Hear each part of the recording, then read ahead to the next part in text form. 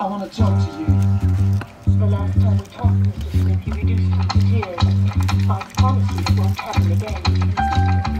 Do I attract you? Do I repulse you with my queasy smile? Am I too dirty? Am I too flirty? Do I like what you like? I could be awesome, I could be loathsome, guess I'm a little bit shy. Why don't you like me? Why don't you like me without making me try?